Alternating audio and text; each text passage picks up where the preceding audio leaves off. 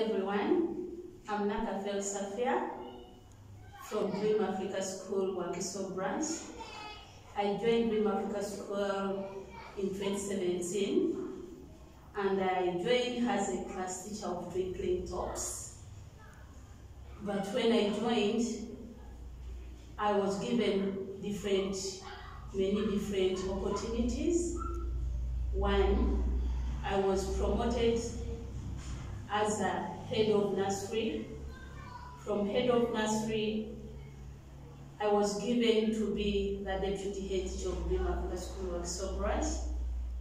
Next, they gave me, they promoted me as a school in charge. From school in charge, I'm now working as a school administrator. So I thank the CEO and the directors of Dream Africa School Network for giving me this opportunity and for granting everyone in Dream Africa School the opportunity of, of grooming their leadership skills.